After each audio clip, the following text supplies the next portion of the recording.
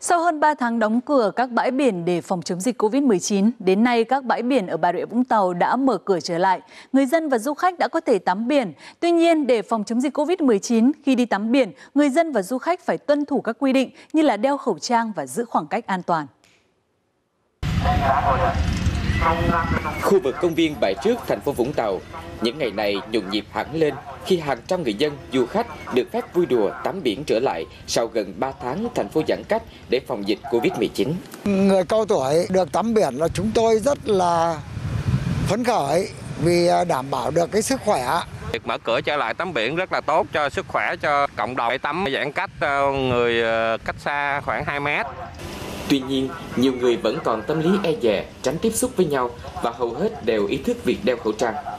Lực lượng trật tự đô thị cũng thường xuyên kiểm tra, nhắc nhở người dân đeo khẩu trang, tuân thủ quy tắc 5K và không ăn uống xả rác bừa bãi.